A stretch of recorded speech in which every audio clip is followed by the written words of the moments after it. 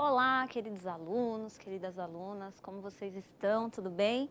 Meu nome é Vanessa André de Paiva, sou professora de processo civil. Bem-vindos aqui ao nosso canal no YouTube, o canal da Nova Concursos no YouTube.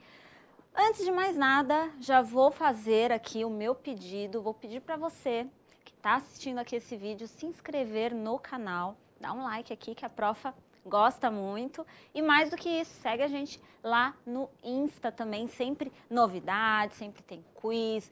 Bom, tudo que você precisa saber aí no mundo do concurso tem aqui na Nova. Então, se você já conhece o canal da Nova, você já sabe do que eu estou falando. E se você não conhece, bem-vindo.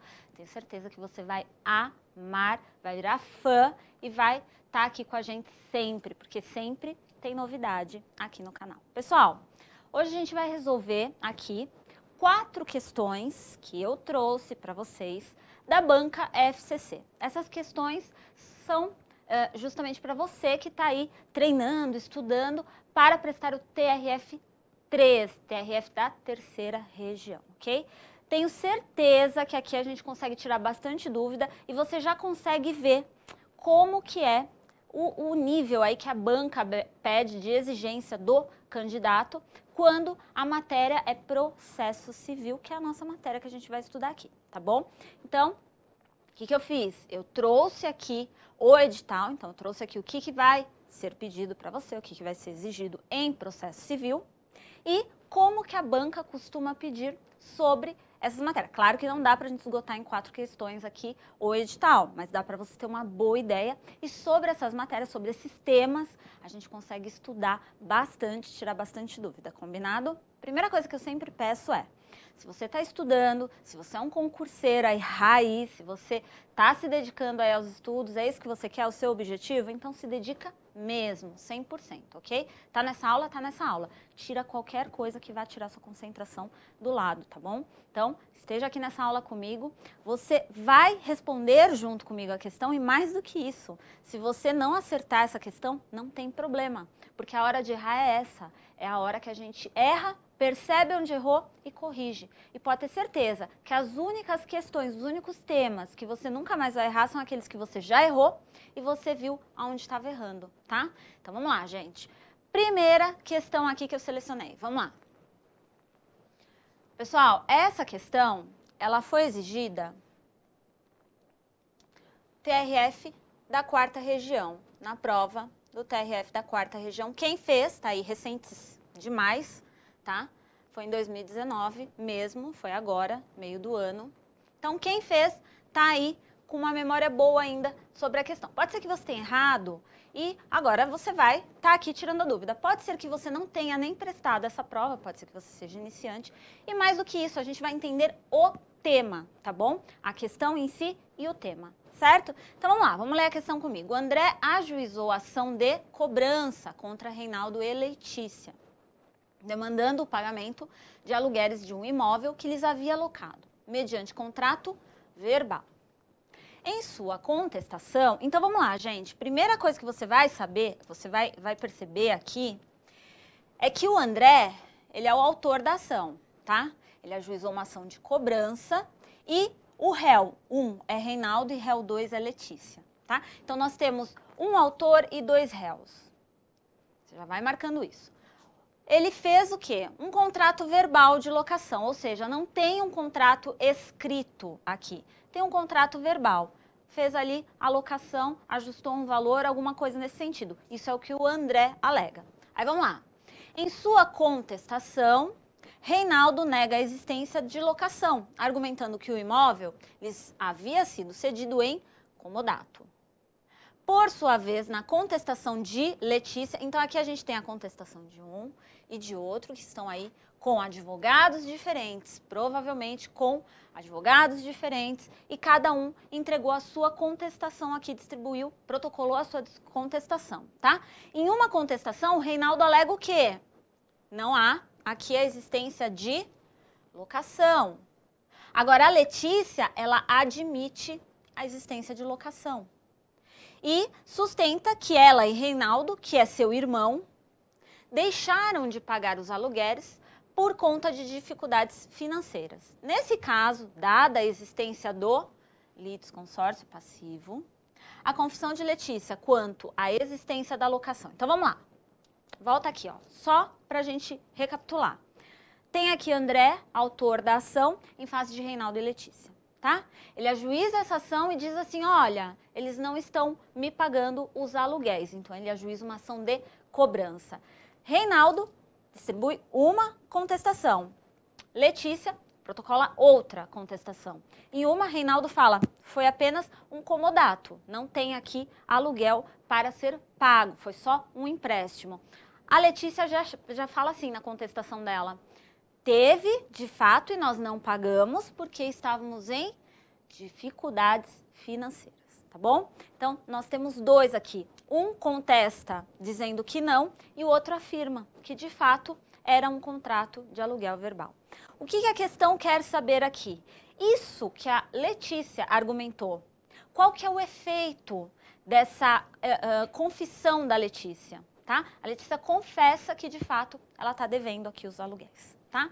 Qual que é o efeito da confissão na contestação da Letícia? Vamos ver as alternativas com calma para a gente entender. Alternativa A diz que faz prova apenas contra ela, Letícia. Alternativa B, faz prova contra ela, que é a Letícia, e também contra o Reinaldo. Alternativa C, faz prova apenas contra Reinaldo. Alternativa D, faz prova contra ela, Letícia, somente se corroborada por outros meios. Alternativa E, não faz prova contra ela, Letícia, nem contra Reinaldo. Então aqui eu trago para vocês o seguinte, antes da gente ir para a correta. Pode ser que você bateu o olho aqui e você só pela sua base em litos consórcio você já consegue responder essa questão. Pode ser. Mas aqui a gente vai trazer um estudo, vamos fundamentar então aqui o porquê da correta estar correta e de todas as outras estarem erradas, combinado? Então vamos lá. A gente está tratando de litisconsórcio, o tema é esse, e a banca quer o conhecimento do candidato sobre esse tema aqui, tá? Entre os artigos 113 a 118, a gente encontra litisconsórcio, o tema litisconsórcio, tá? O que, que é o litisconsórcio? Eu trago aqui para vocês. O 103 já dá, dá essa definição, ó, é quando duas ou mais pessoas vão litigar no mesmo processo em conjunto, ativa ou passivamente. Quando que pode haver litisconsórcio? Então, olha só, primeira coisa, você viu lá, autor, um só. Podiam ser dois? Podia, e a gente ia ter um litisconsórcio ativo, tá? Mas não, eram dois réus. Então, eram duas pessoas no polo passivo, e aí eu tenho litisconsórcio passivo, ok? Isso tudo, gente, vocês têm que lembrar do quê? Da classificação do litisconsórcio, tá? Então, aqui eu tenho um ativo, um passivo, eu tenho litisconsórcio simples, eu tenho litisconsórcio unitário, eu tenho litisconsórcio facultativo, eu tenho litisconsórcio necessário. Então, você tem que lembrar dessa classificação, tá bom? Quando eu posso ter litisconsórcio? Então, não é apenas as pessoas quererem estar ali litigando no mesmo processo em conjunto. Não, não é nada disso. Eu tenho que observar os incisos. Olha só, inciso 1. Quando entre elas houver comunhão de direitos ou de obrigações relativamente à lide. E aqui é o que está acontecendo. Por quê? Porque lá é um contrato verbal de locação, onde o André, que é o autor da causa, diz assim, olha, eu aluguei para os dois. E olha, eu preciso cobrar o aluguel dos dois, tá bom? Aqui, dois, entre as causas houver conexão pelo pedido ou pela causa de pedir. Ou três, ocorrer afinidade de questões por ponto comum de fato ou de direito. Mais do que isso, gente, olha o que diz pra gente o 117. Então, se você estudar entre o 113 e o 118, você vai estar estudando sobre o litisconsórcio. A classificação é doutrinária, tá bom? A classificação é doutrinária, então você tem que ter uma aula, como eu sempre digo. Tem que ter a aula com o professor, explicando tudo, tintim por tintim. Tem que ter a leitura tá? Então tem que fazer a leitura do artigo. Claro que sim, é fundamental. Inclusive aqui, gente, vou falar para vocês, letra de lei, tá bom? Sabendo ali o que a lei diz, acabou. Você responde essa questão de olho fechado certo? E claro, revisar por meio de questão, melhor coisa. Olha só, a gente está revisando aqui um tema. 117. Os litis consortes serão considerados em suas relações com a parte adversa como litigantes distintos, exceto no litisconsórcio unitário. Então, você tem que saber a classificação, o que é o litisconsórcio unitário. Caso em que os atos e as omissões de um não prejudicarão os outros, mas os poderão beneficiar. Então, assim, ó, aqui houve um ato praticado por Letícia. no ato dela, no momento dela praticar esse ato, qual seja, contestar aquela ação, ela confessou, tá?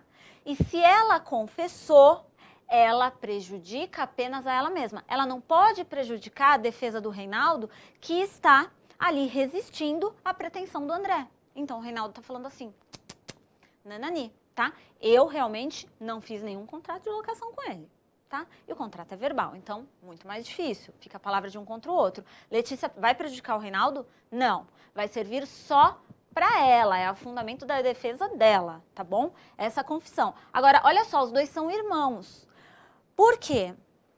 Aqui eu dou, eu dou uma explicação sobre o litisconsórcio unitário, mas olha só, se os dois fossem casados e salvo em regime de separação absoluta de bens, aí sim.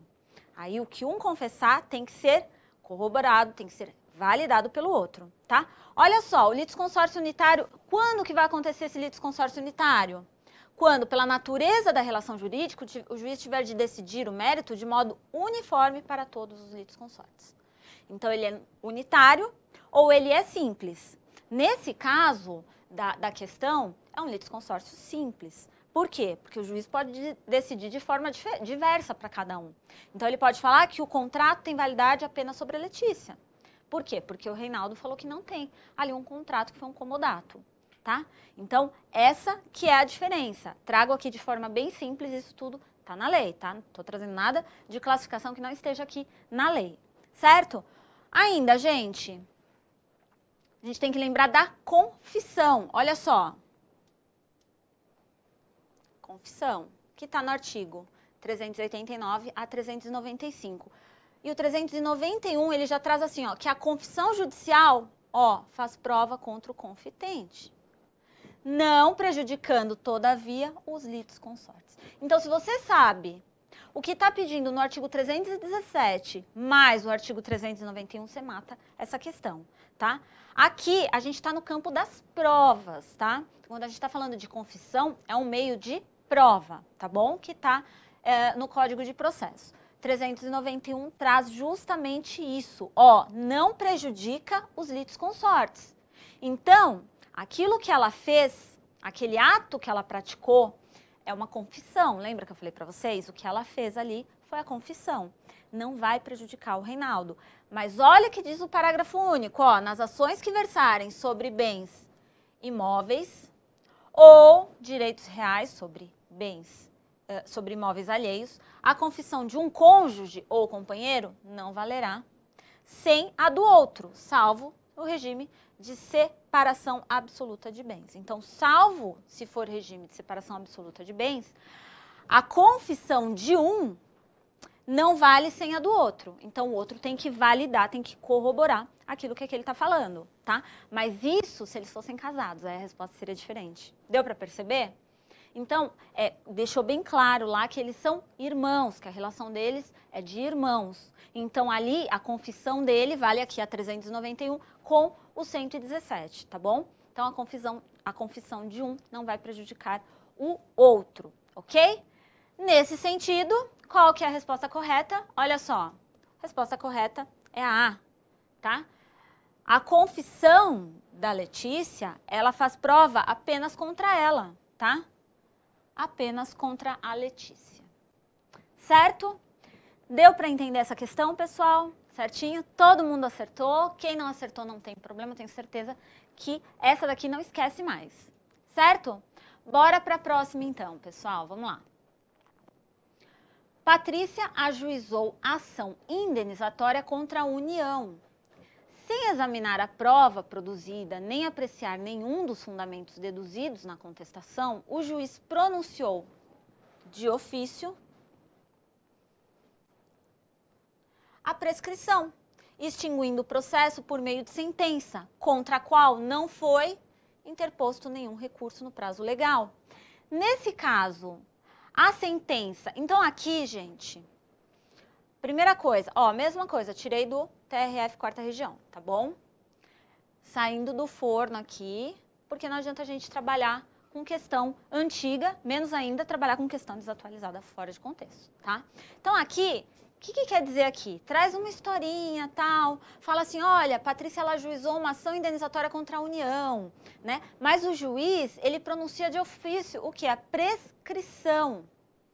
E ele extingue o processo por meio de sentença que contra essa sentença não foi interposto nenhum recurso. Aí ele quer saber o seguinte, nesse caso, a sentença tem que saber o quê?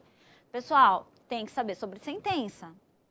Tem que saber sobre sentença tá? Então você tem que saber, no mínimo, você tem que saber 485 e o 487, que é quando o juiz extingue o processo resolvendo o mérito da questão ou não resolvendo. Então é uma sentença com resolução do mérito ou sem resolução do mérito. 485 sem resolução do mérito.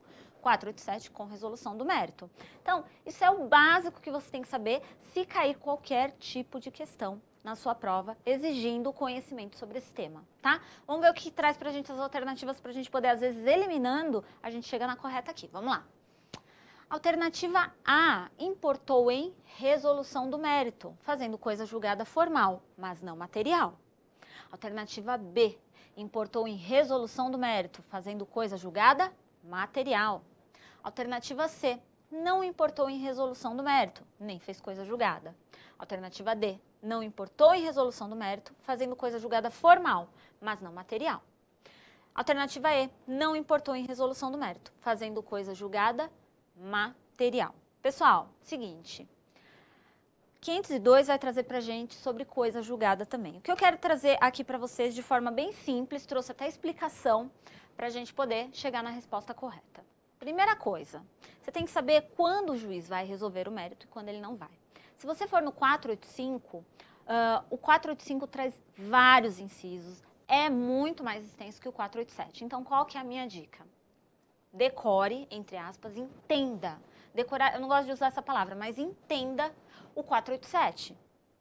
Porque você vai entender o 487 e o que não tiver no 487, você elimina, porque o juiz então não resolveu o mérito. Então, por exemplo, quando o juiz ele indeferir a petição inicial, o indeferimento da petição inicial está lá no começo, está lá no artigo 330 do Código de Processo Civil. Então, quando for uma das hipóteses que estão elencadas no 330, o juiz ele vai indeferir a petição inicial. Por exemplo, uh, o 321 ele dá um prazo para que a parte, se ela não tiver cumprido os requisitos da petição inicial, que estão elencados no 319 e 320 do Código de Processo Civil, o 321 fala assim, olha, se você não cumpriu ali os requisitos, o juiz vai abrir um prazo para que você complete, para que você adeque a sua petição inicial. Por quê? A petição inicial, ela é um pressuposto de existência do processo, porque você retira a inércia do Poder Judiciário através da petição inicial, e ela é um pressuposto de validade, porque você tem que cumprir todos os requisitos para que a sua petição inicial seja válida e o seu processo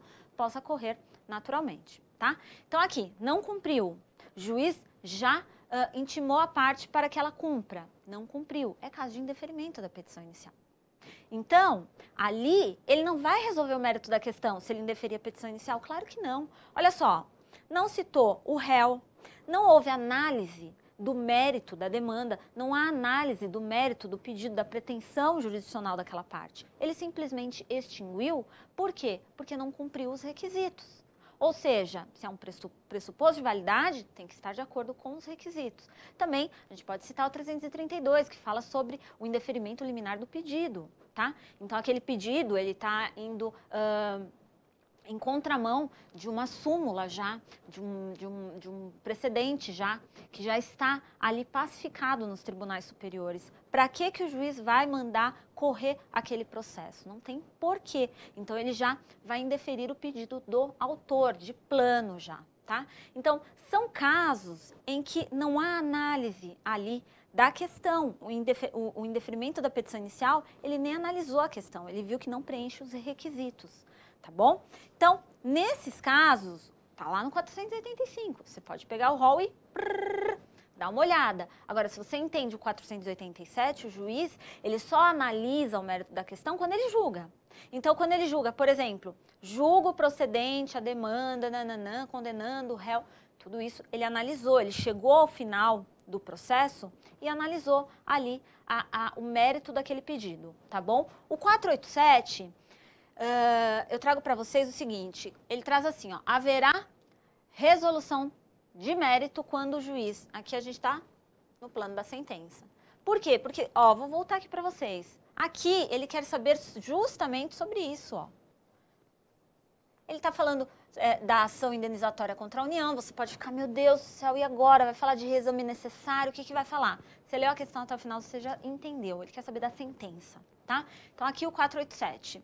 Quando vai haver a resolução do mérito? Quando o juiz acolher ou rejeitar, então, uh, julgou procedente ou improcedente,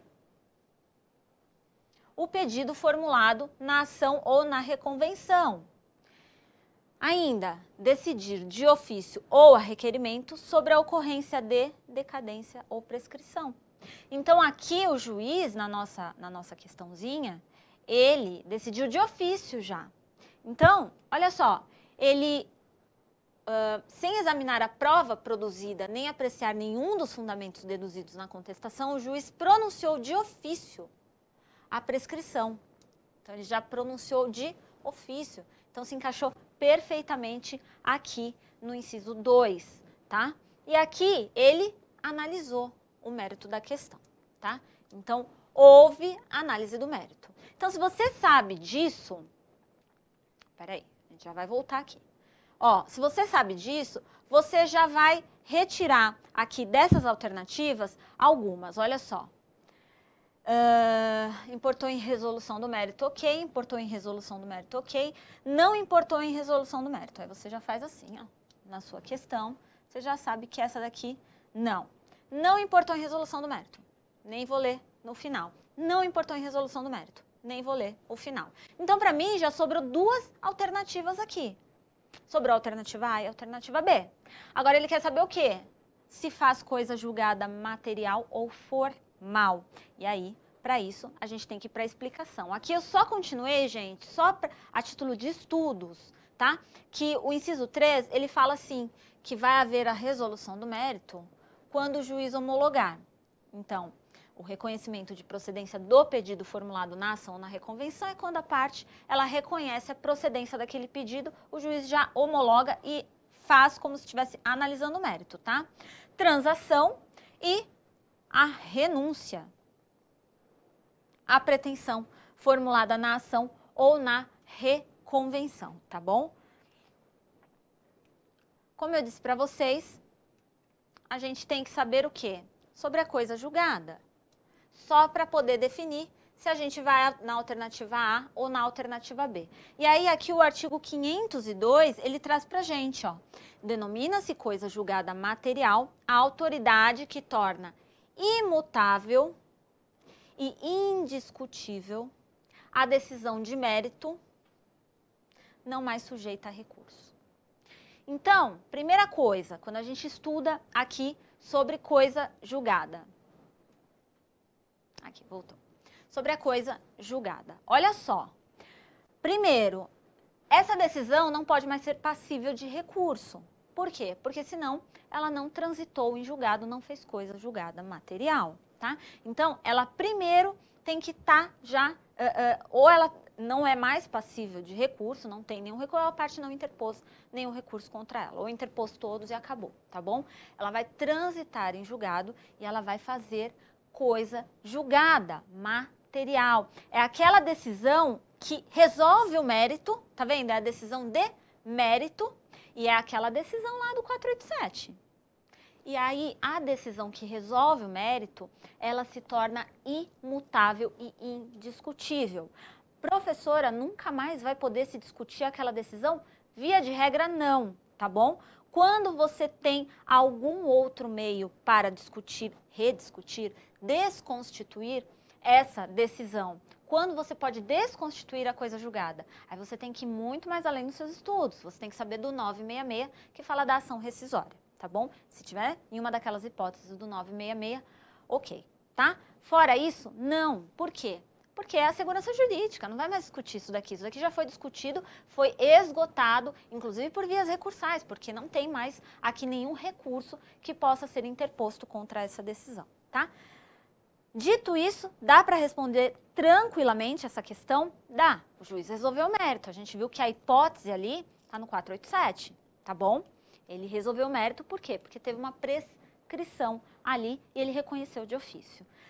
Dada essa informação, a nossa alternativa correta é a alternativa B, tá? Nesse caso, a sentença importou em resolução de mérito, fazendo coisa julgada material. Aqui eu tenho que saber o que, professora, então, para responder? Você tem que saber o 487, inciso 2, mais o artigo 502 do CPC. Tá? Sabendo dois artiguinhos, você consegue resolver essa questão. Tranquilo? E aí? Então vamos respirar e vamos continuar, porque tem mais questão aqui para a gente resolver de processo civil. Eu costumo dizer que processo civil é a vida prática da gente, né? Nem tudo, nem tudo, mas muita coisa sim. Então, não é uma matéria difícil, é uma matéria extensa. Então, o que eu digo para você é o seguinte: vai estudar processo civil? Então, primeira coisa, tenha paciência. Porque o processo civil, ele é ótimo. Ele vai ligar desde o início, desde o artigo 1 até o final dele. Ele é todo ligadinho. Então, se você sabe um artigo, às vezes um só não compensa, não adianta para você responder a questão. Às vezes você tem que saber que um é ligado com o outro. Então, veja só, o, 100, o 391, ele falava dos litos consortes. Então, você tem que saber o 113 ao 118, lá na primeira questão. Tá bom? Aqui é a mesma coisa. Você está estudando sobre sentença, logo em seguida você vai cair em coisa julgada. Tem que saber. Então, para estudar processo civil, a minha dica é tenha paciência. Edital que traz processo civil vem gigantesco. Não tem como não ser gigantesco, tá? Principalmente quando é carreira de tribunal. Por quê? Porque você vai lidar com processo civil na prática, tá? Então, tem que saber? Tem. Tem que estar afinado em processo civil, tá? Mas uh, se uma opinião pessoal é válida, é uma matéria muito gostosa de estudar, certo? Vamos aqui para a nossa terceira questão, olha só. Pessoal, aqui a gente pegou questão nível médio, tá? Que é a exigência para vocês.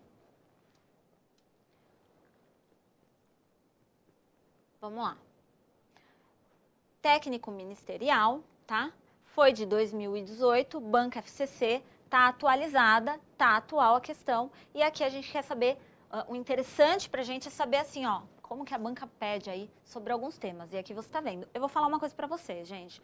Pode pesquisar. É, muito embora o edital contemple que pode cair doutrina, jurisprudência, nanana, o que a banca costuma, não estou dizendo que é só isso, tá?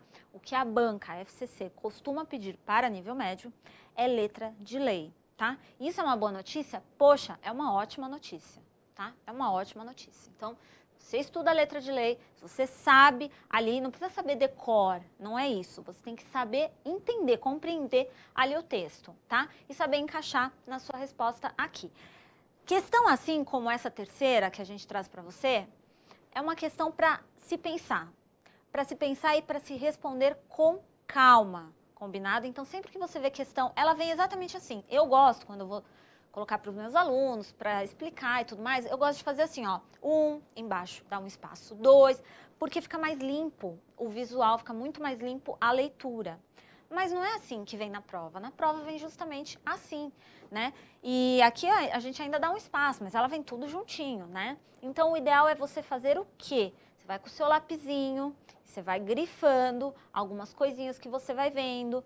Uh, se você vê que a questão está muito errada, você está com a certeza, você já dá um, um, um asterisco nela, para você saber que aquela uma dessas alternativas está errada, porque essa questão aqui é a questão que vem para confundir o candidato, tá? Primeiro porque ela é muito cheia de informações e segundo que ela é muito mais cansativa e muito menos limpa quando a gente dá uma olhada nela para ler, tá bom? Então, viu questão assim, ó, promete que você vai parar e vai fazer com muito mais calma a análise dessa questão antes de responder. Combinado? Mas essa daqui você vai ver que ela não trouxe nenhuma dificuldade. Vamos lá. Acerca da audiência de instrução e julgamento para tudo, que se você tiver com um lapisinho, você já vai grifar aqui embaixo que o examinador ele quer saber o quê? Audiência de instrução e julgamento, gente. Então ele quer saber o quê? Qual que é o procedimento? Como que é feito ali a audiência de instrução e julgamento, tá? Então, sabendo isso, você já consegue resolver aqui. Vamos lá. A audiência poderá ser. Então, aqui, considere. Então, ele quer saber quais são as alternativas corretas. Alternativa 1. A audiência poderá ser adiada por mera convenção das partes. Então você tem que saber se a audiência. Primeiro, você tem que saber quando. Você tem que saber primeiro se ela pode ou não ser adiada. Pode, não pode, aí. Segundo, se você for pelo pensamento de que ela pode, por mera, eles colocam mera, né, para falar, mera convenção das partes. E aí, pode ou não pode? Às vezes você olha e fala, será que eu li mera no artigo? Então vamos lá. Inciso 2. Inciso 2 não, alternativa 2. O juiz poderá dispensar a produção das provas requeridas pela parte cujo advogado ou defensor público não tenha comparecido à audiência, aplicando-se as mesmas regras ao Ministério Público. Então aqui está dizendo o quê? Que o juiz ele vai dispensar a produção de provas caso ele não tenha comparecido o advogado ou o defensor público à audiência, o não comparecimento à audiência. Quais provas são produzidas em audiência de instrução e julgamento, gente? Vamos lá. Quais provas são produzidas numa audiência de instrução e julgamento? Provas orais. Lembrem-se disso. Então, o advogado aqui, ele arrolou testemunha, a testemunha chegou, mas ele não compareceu, o juiz não é obrigado a fazer a produção daquela prova, tá bom? Vamos lá, aplicando-se a mesma regra ao Ministério Público. Alternativa 3 aqui. A audiência é una e contínua, não se admitindo sua cisão em nenhuma hipótese. A audiência una e contínua? É, mas ela pode ser dividida? em algum momento, em algum momento que houve alguma justificativa para que isso ocorra, será que é, esse em, em, nenhuma hipótese está correto? Eu sempre falo assim, ó, sempre que você lê, sempre ou nenhuma hipótese, nunca, desconfie. Desconfie, porque a gente tem a flexibilidade no nosso judiciário, claro que tem, previstos ocorrem, tá? E isso tem que ser levado em consideração também no judiciário. Alternativa 4, vamos lá, pessoal.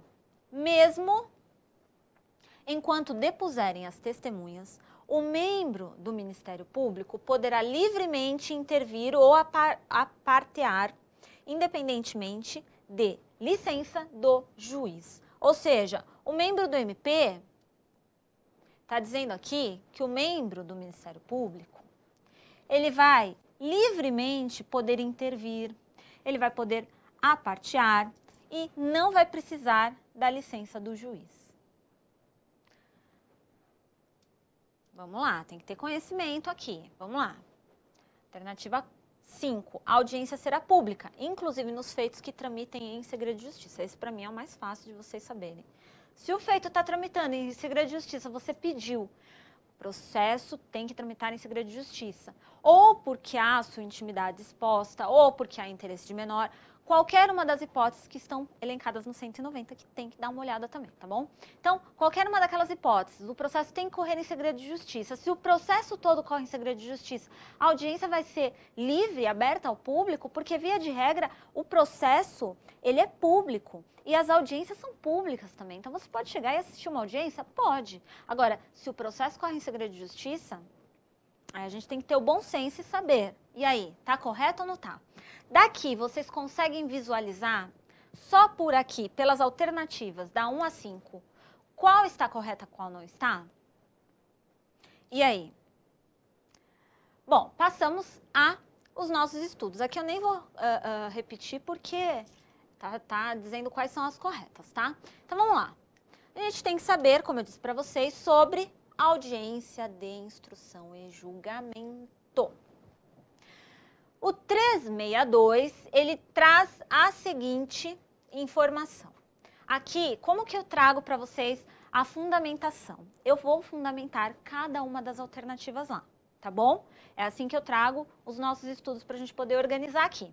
Então, Ali, a primeira estava falando que a audiência podia ser adiada por mera convenção das partes. E eu disse para vocês que ele colocou mera e que aí que as pessoas podiam falar assim, olha, mas colocou mera, será que mera está desdenhando, está falando, hum, é alguma dica, igual o nunca ou sempre? Não, pessoal. Porque, de fato, ela pode ser adiada. E ela pode ser adiada em três hipóteses, tá bom? Então, assim, a audiência, ela é, é obrigatória se o juiz marca tal data, tem que ser tal data.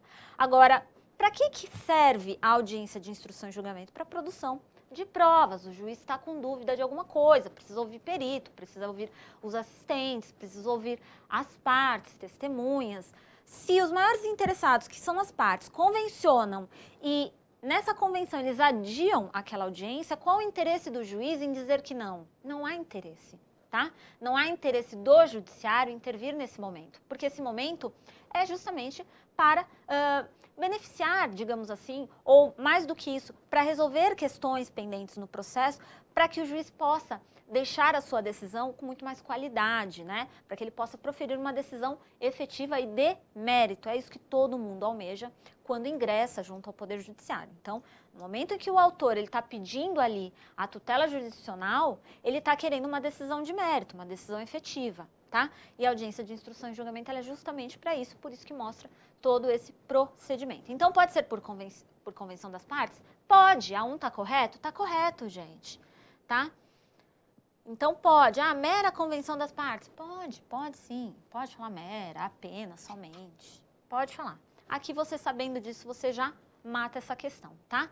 Apenas a título de estudo. Se uma das partes não puder, se uma, das, uma dessas pessoas que tem que participar dessa audiência não puder comparecer, desde que tenha um motivo justificado, tá, gente? Aí pode ser adiada. O que, que é um motivo justificado? Motivo justificado, a pessoa está internada, ela não pode comparecer. Aí pode ser, se ela necessariamente devesse participar dessa audiência, tá bom?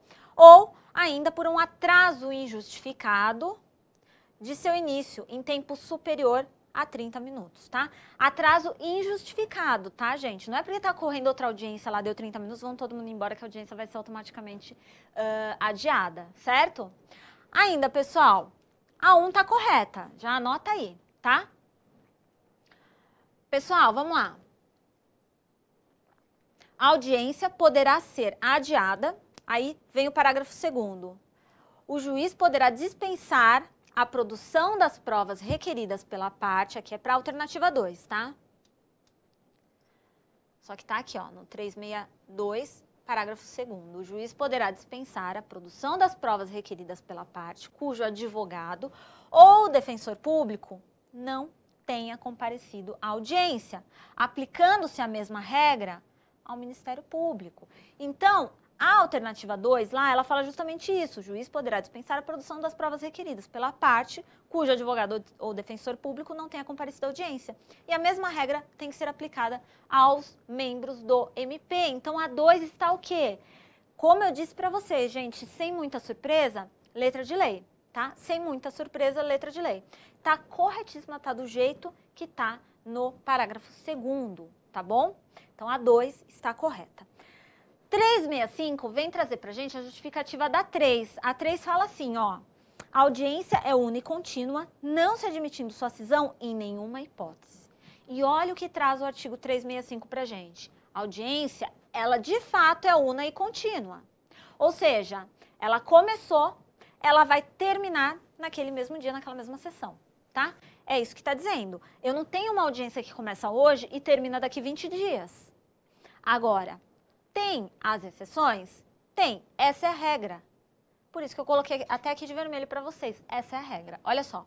Podendo ser excepcional e justificadamente cindida na ausência de perito ou testemunha, desde que haja concordância das partes. Então, como eu disse para vocês, a audiência é para quê?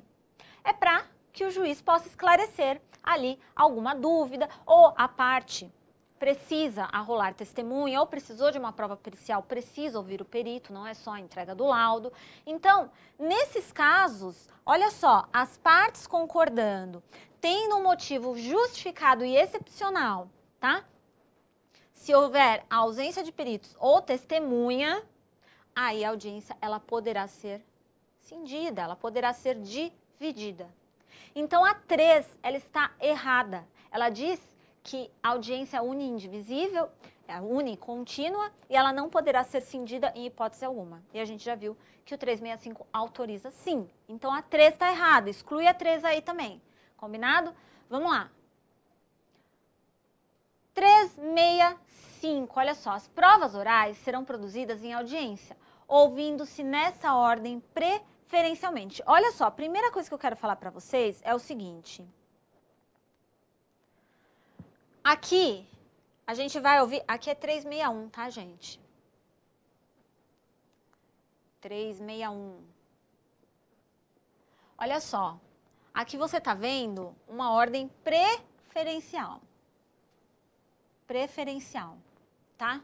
Ou seja, muitas, muitas, muitas questões, muitas, gente. Eu cansei já de corrigir prova que a banca coloca que é obrigatória tá? Então fala que a ordem é obrigatória. Não é, é preferencialmente. Quando fala preferencialmente, significa o quê? Que o juiz deve observar o artigo 361, a ordem preferencial, mas que ele pode, por formação de convicção dele, ele pode alterar essa ordem. Combinado? Então, não é obrigatório. Combinado? Vamos lá. Ele vai ouvir primeiro os peritos os assistentes técnicos que vão responder aos quesitos, tal, esclarecimentos, tal, tudo bonitinho. Então, primeiro ele vai ouvir o quê? Aqui eu vou marcar porque não é isso daqui que está caindo, tá, gente? Mas só para vocês saberem, perito e assistente técnico. Em seguida, autor e réu. E depois, testemunha de quem? Do autor e do réu, tá? Então, aqui, essa é a ordem, tá? O 4 fala assim, que mesmo quando depuserem as testemunhas, o membro do MP poderá intervir livremente e apartear, independentemente de licença do juiz. Mas olha só o que diz o parágrafo único do 361. Olha o que diz o parágrafo único do 361. Vamos lá. Enquanto depuserem o perito, os assistentes técnicos, as partes e as testemunhas, não poderão os advogados e o Ministério Público, e por advogados aqui você vai entender o quê? Advogados particulares e defensores, tá bom?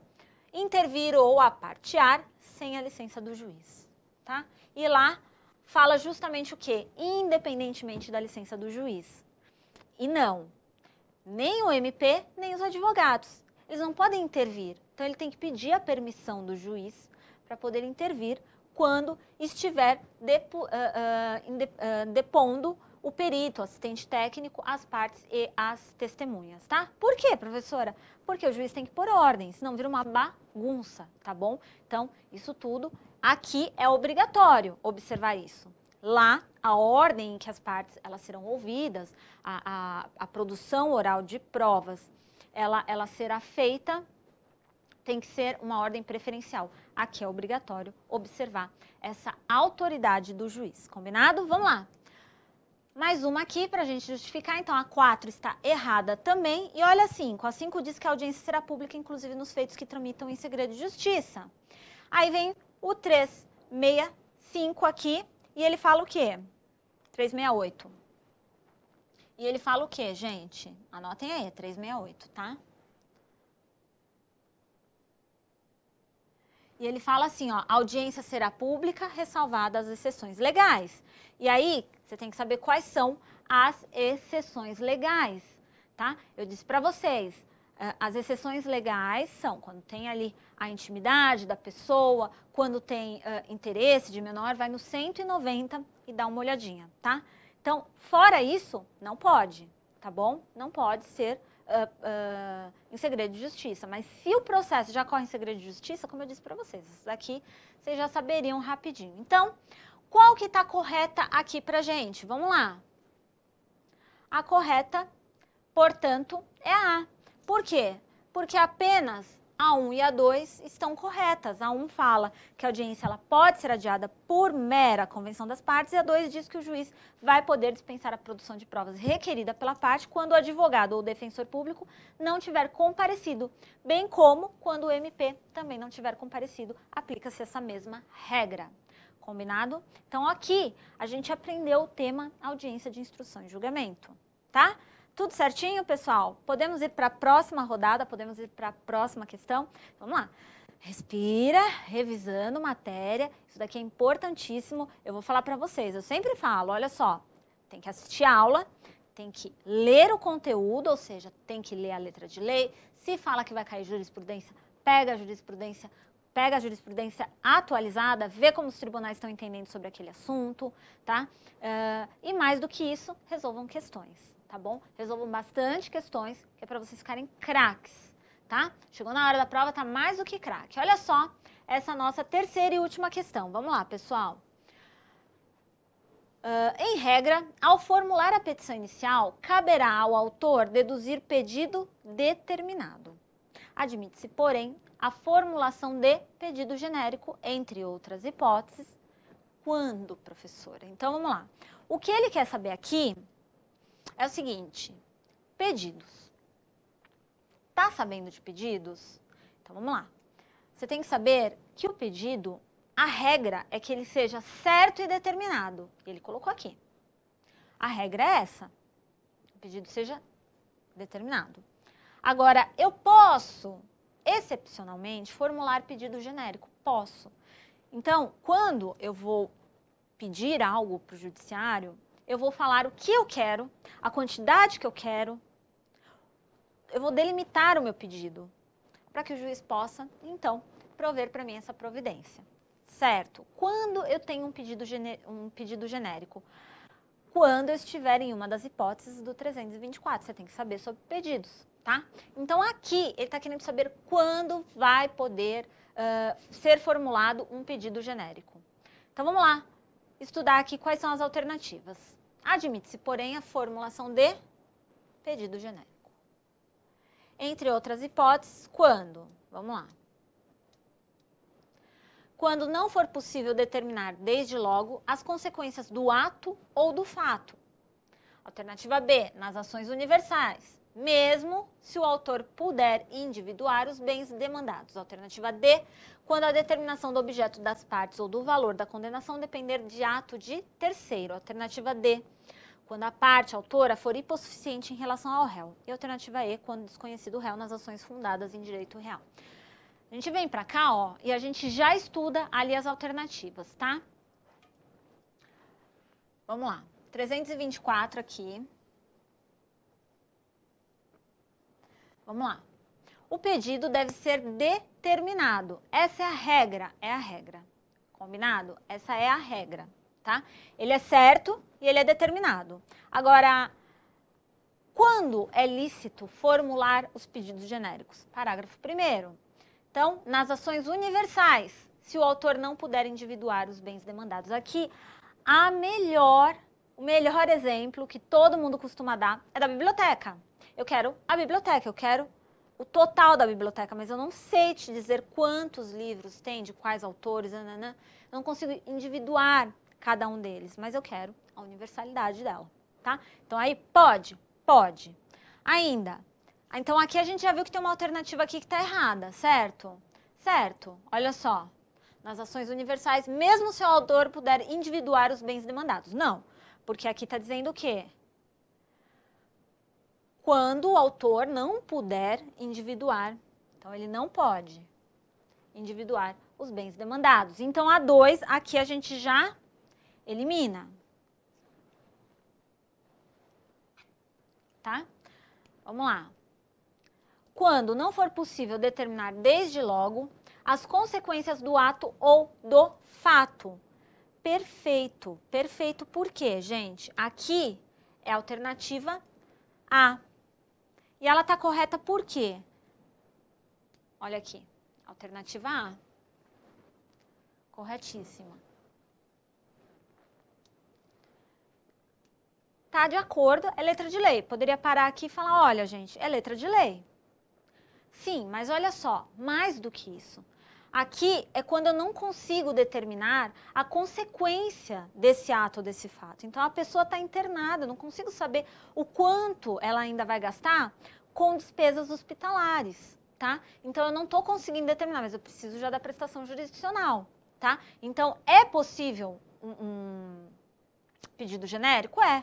É possível que eu peça assim, genericamente, olha, até hoje foi gasto um valor X com despesas hospitalares. E não há previsão de alta para essa vítima, tá? Então, nesse caso, nesse exemplo, é possível sim, tá? E o inciso 13, ele permite quando? Quando a determinação do objeto ou do valor da condenação depender de ato que deva ser praticado pelo réu, tá? Aí tem que ser praticado pelo réu, eu não consigo determinar ao certo a dimensão desse pedido. Olha só, gente, só para a gente fechar aqui, tá bom? Aqui fala do ato de terceiro e lá tá falando do ato de do réu, tá bom? Então aqui a gente já sabe também errada. Ainda, gente, aqui é o inciso 3. Quando a parte autora for hipossuficiente em relação ao réu, não, né? Pelo amor de Deus, isso não é um pedido genérico. Quando desconhecido réu nas ações fundadas em direito real, também não. Se você tiver conhecimento no artigo 324, parágrafo 1 do CPC, você vai saber que no inciso 1, já, no inciso 2, desculpa, já está a nossa alternativa correta.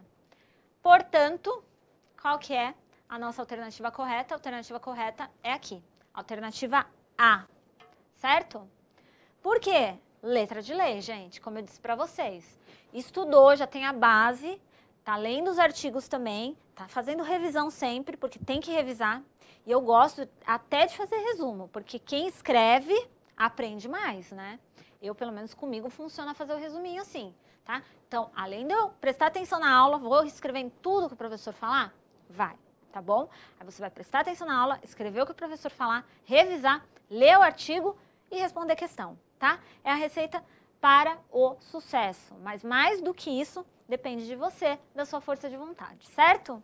Pessoal, então eu fico por aqui. Muito obrigada pela companhia de vocês. Espero ter agregado aos estudos de vocês de coração e espero que essa aula tenha tirado muitas dúvidas.